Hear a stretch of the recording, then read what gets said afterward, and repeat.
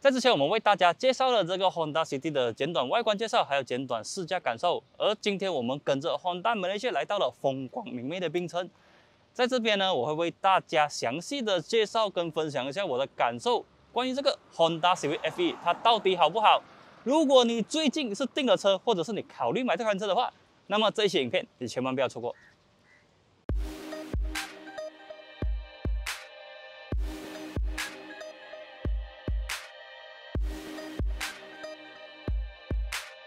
在这个外观设计方面，我必须讲多一次。其实，在这个外观设计方面呢，新车全车系都搭载了 LED 的头灯组。上一代车型只有涡轮增压版本才有这个 LED 的头灯组，而且只有顶级的 TCP 才有远近光灯自动调节。但是在新一代的 Civic FE 上面呢，因为全车系都拥有 Honda 身性，所以就算你买到最入门的这一个 E 版本呢，它还是有这个远近光灯自动调节，而且头灯组是全 LED 的。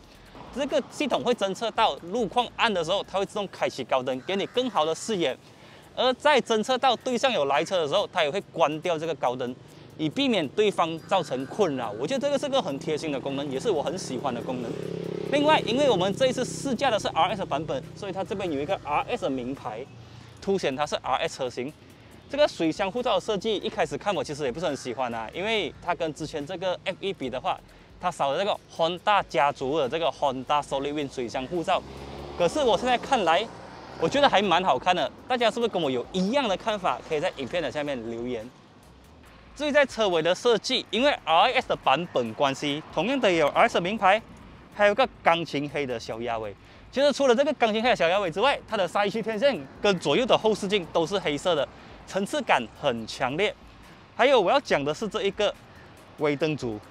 虽然很多人觉得上一代的这个尾灯组比较好看，可是我个人还是比较喜欢这一个啦，因为我觉得这一个比较没有那么张狂，比较符合我的个性。然后它亮起的时候辨识度同样的是很高。另外下面有这个双出的排气管设计，这个排气管真的是货真价实的，运动的感受很强烈。接下来就要讲到这个尾箱了，这尾箱你要用手动开启可以，你要用这个开启也可以。你只需要按着这个 button 就可以开启这个尾箱了。然后接下来我们看下尾箱空间有多大。这里是我们三个人的行李，你可以看到，基本上放了三个人的行李之后，它还是有非常充足的空间。我相信我们只需要稍微排列整齐一点，它可以塞更多的东西。我觉得这个是作为一辆家庭车很重要的细节。然后它还支援六四分离的椅背倾倒。如果你去买了这个体体积比较大的东西，例如说。厨啊什么，你放进去的话，它是没有问题的。另外一点就是这辆车还有两个特别的功能，一个就是 Walk Away Lock，也就是说只要你带着钥匙，你离开车辆一定的距离，车子就会自动上锁。还有一个就是 Remove Engine Start，这个功能在现在这种天气真的是很实用，因为上车之前你先启动引擎，让这个冷气给它先预冷一下车室，你上车的时候就不会被热死。我觉得这个是对马来西亚热情天气非常好的配备。这个 Honda Civic 的内装设计方面呢，跟以往的 Honda 很不一样。首先，我相信原厂是收到了消费者一些回馈，就是说上一代的组装跟质感可能不是那么好，所以这一代的质感跟组装都进步很多。你可以看啊，这个中控台我去推它，它基本上就是很扎实的。然后这边是软质塑胶，这边也是软质塑胶，然后加上这个横格网的冷气出风口设计，让它看起来非常的 class。而且这个冷气出风口设计是致敬换大一些经典的车款，然后还有这个大尺寸的独立触屏主机，支援这个 wireless 的 Apple CarPlay，当然你要用这一个线去连接它也是可以的。然后它整个系统使用起来非常的流畅，重点是在大太阳底下它也不会因为呃有强光照射的关系，然后还有反射啊等等。我觉得这一个触屏主机的设计是非常值得赞赏的。然后接下来就是这个冷气控制的摇杆。值得一提的是，中间的这个冷气出风口是不可以关闭，可是左右两侧可以。我相信原厂是考量到后座的乘客呢需要冷气，所以他们才会把这个设置成不可以关闭。虽然说后面有冷气出风口了，在这里我要重点表扬这一个冷气的设计格，看起来虽然跟 Honda City 很像，但是它的这个细节部分啊，其实有很大差别。大家注意到吗？这个圆圈里面其实是一个很小个的 screen。它可以显示一些细节啊、资料等等。就例如讲，这一个调整风量了。大家仔细看，如果我转动的话，中间的这个小 screen 它会跟着变化，是不是很精致？而且这个转动的感觉，给大家听一下这个声音。这个转动的感觉真的是非常非常的细致，所以 Honda 可能是接收到了上一代车型人家投诉，可能组装品质啊，或者是用料比较差的反馈，所以他们这一代在这个精、这个用料啊、组装等等的品质真的是进步很多。然后还有一点是在上一代 Civic FE 呢，如果你要调整冷气的话，你是要这边按一个按键，然后通过这个触屏来控制。可是这样的话，如果你在开车，是是很难的要去控制，所以这一代他们直接把它变成这个实体按键。大家可以看到，如果我切换成了这个我驾驶姿势过后，整个使用者界面是非常的旧手的，控制冷气、调整风量，然后音响这边有音响的快捷键，而且这些质感都很出色，然后这个皮革握感也很好，就整个很有欧洲车的感觉。还有一点要告诉大家的是，这个 RS 版本在前面的两个门上面都有一个小小的氛围灯，这个是 RX 版本专享，其他的版本是没有的。接下来我就要讲一下这个仪表。其实这个仪表在车子发布的时候，蛮多人投诉啦，因为在海外其实这个是一个全数位化仪表，但是马来西亚全车系都是这个半数位化仪表。其实对此我可以接受，因为大家都知道现在原料涨价。然后我国的货币其实也是有贬值，所以造成原厂的成本真的是一直上涨。他们在想方设法降低一些成本，然后维持价格也是在情理之中啊。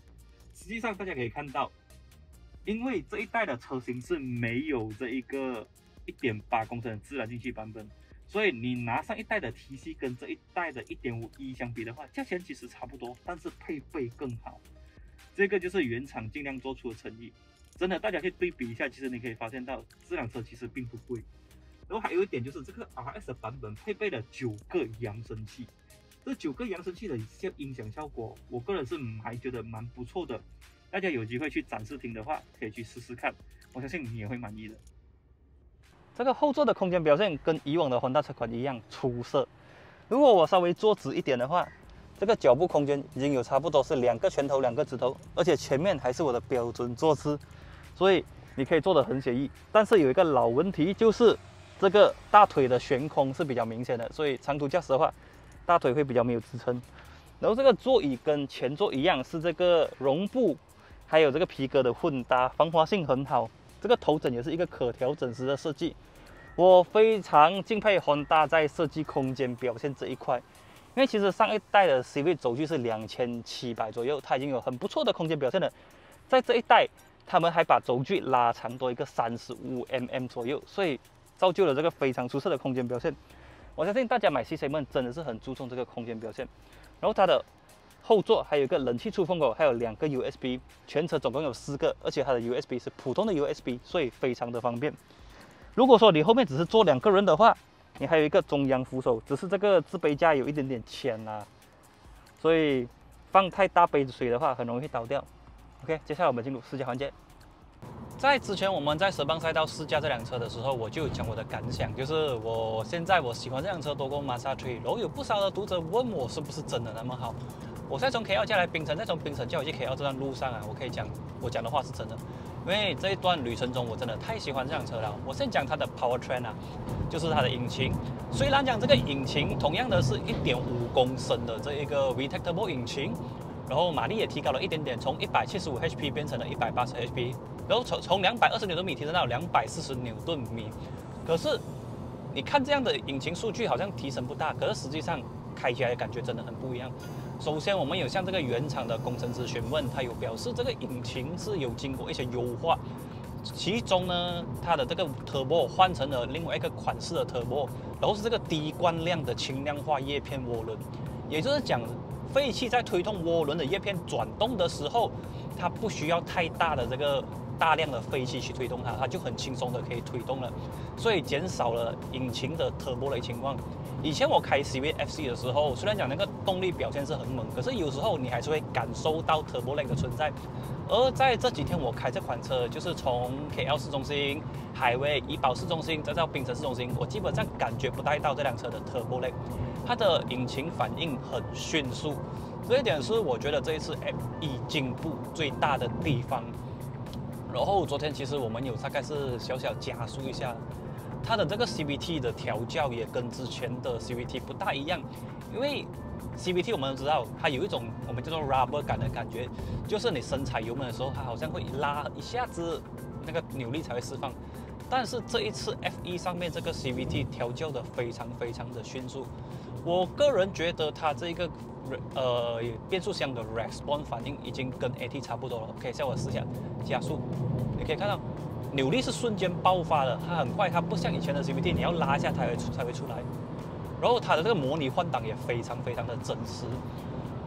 这样子的设定，让你在市区驾驶的时候，不会因为有 turbo lag 的关系，所以感受到，呃，这个车子好像很不流畅。然后其实点起来这个蛮轻盈的，这个感觉在市区驾驶真的很好，我很喜欢这一点。然后我接下来就讲一下它的这个底盘表现。上一代的 CVFC，我有很多的朋友，他们自己是车主，他们给予这辆车的评价就是这个车的这一个。嗯，底盘可能有点摇摇晃晃，悬吊太软，可能太过顾及于舒适性，所以开起来的感觉不像以前的 c v 那么热血。可是这一代，我觉得 Honda 真的有听取消费者的建议，他们这一代的悬吊设定变得非常的这一个有韧性，它还是有一点柔软度在，但是并不会像上一代的车型那么软，导致这个车辆跑快的时候很摇晃。这辆车在跑快的时候稳定性很好。然后，就算是在你一些弯道，你真的是比较激进的去驾它的时候，悬吊的支撑也很到位，但是它并不会损失它的舒适性。大家都知道，冰城的有一些路况可能不是那么美，然后有很多的减速带。昨天我们在驾驶的时候，你可以感受到车辆确实是有那一个弹跳，可是那个弹跳并不会导致车内的乘客不舒服，包括后面都是一样。我昨天真的是在后面睡了一段很长的时间，然后还有人问我你不会不舒服没？那个后面悬吊不会弹吗？其实是真的是不会，我真的很喜欢这一次这个车辆悬吊跟这个底盘刚性的提升，让我开起来我觉得它不像是一辆日系车，反而更接近欧洲车。这一个要给 Honda 一个赞，我相信各位是车主或者准车主，只要你开过这款车，你应该都会赞同我所讲的。然后接下来讲的就是这个使用者界面。上一代的 CV，它的这个冷气控制面板其实是整合在这个 Touchscreen 里面，所以如果你在驾车的时候，你要去调这个冷气，你就必须打开这一个，按应该把大灯点开那个界面，才可以用手去调。这样子的话是很帅、很眼，没有错。可是对于这个使用者的便利上面就打了一些折扣。所以 F1 上面他们重新的把这个实体按键拉出来，就像现在我很热，我要调整风量，我的手只要向前伸，我就可以找到按键转。就有风量了，这个真的是一个很方便的举动。所以其实我本身也不是很喜欢现在的新车把这个实体按键取消，因为你开车的时候使用起来真的不是很方便。然后接下来要讲一下它的安全配备。这一次它全车系配备了 Honda Sensing，可是这个 Honda Sensing 是最新的版本。它升级在哪里？它主要升级点在两个，一个是软件，一个是硬件。软件就是让它的计算更迅速、更精准；硬件就是这一个位于这里的这一个前方的有个镜头，他们把这个镜头的这个可辨识角度提高了，所以它是一个广角镜头。以前的 Honda Sensing 只可以侦测到你现在的路这个车道，如果你只有两条链，它就只可以侦测两条链。但是更新之后的 Honda Sensing 它可以侦测到对向的车道。也就是说，它可以在一些情况下做出更为及时的反应。讲真的，这样一路开下来，我真的没有关掉这一个环大显性的功能。我觉得它的这个侦测真的是蛮精准的。我这样讲，有时候就算是这个道路上面的这个路线不是很清楚，然后我在没有打方向盘的时候，我转向，它侦测到我已经吃线了，它会帮我拉回来。然后有时候真的是离前面的车有点近的时候，它也会提示我 brake。这个环大神性的提升真的很有感。如果整体加下来，我真的觉得，不管是在 powertrain 舒适度，还有这个 handling 的反馈上面，它真的是目前的 C segment 之王。我真的没有夸大，因为我还没有驾过这一个新的普通版 Golf，因为他们到现在还没有办法注册那辆车。如果是以目前 market 上所有的 C segment，包括韩系，包括这个日系来讲，这辆车的均衡表现真的是最强之一。你试过，你真的就会知道我讲什么。尤其是它的这个操控表现，我真的是爱不释手。这几天我一直跟我身边人讲，我很喜欢这辆车操控表现。虽然讲 FC 的表现已经很好了，但是这辆车比起 FC 的提升最少有个二十八千左右，这个真的是让我有 surprise。从我在车邦开了这辆车到现在，我在路上开这辆车，我的感想都是一样，它真的是。让我找回了以前 CV FD 的感觉。FC 的话其实有，但是不是那么明显。但是这个 FE 我真的觉得它很接近 FD 的表现。当然销售成绩也可以讲一切。这辆车在三月份呢，据说卖出了一千九百多辆。这一个数据我相信是其他的 C 型们追都追不上的。所以 CV 还是 CV。不过这辆车也不是讲完全没有缺点。那我现在讲点它的缺点。我觉得它的缺点有两个地方。第一个是呃隔风。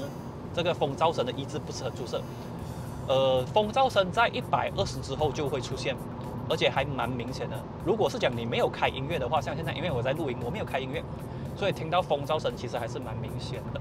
然后第二点就是轮胎的胎噪声，因为这辆车是 RS 版本，它搭载的是这个二二五的十八寸米其林 PS4。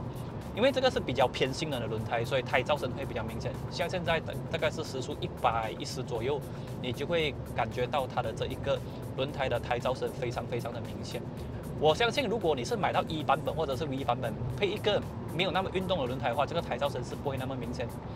可是整体而言，我觉得防火墙的隔音部分很好，然后它的这个刹车也很好。这个刹车同样的也非常接近欧系车。呃，我试过那么多台车，大概有两百多辆左右。我觉得那么多品牌里面，brake 的反应我最喜欢的是 Volkswagen，而这个 CVF E 的刹车制动性能已经接近了 Volkswagen，这个也是要给 Honda 赞的地方。然后因为今天是一个比较紧时间比较短的试驾活动，所以我们可以体验到的东西就那么多。如果以后有机会的话，我们也会把这台车接出来做一个更详细的试驾分享。然后可能因为环境的因素，这个场景不是那么美喽，会有点杂音，请大家多多见谅。好啦，以上就是我们这一期的试驾影片。如果大家喜欢我们的影片，记得帮我们按赞、订阅、分享。我们下一次的节目再见，拜拜。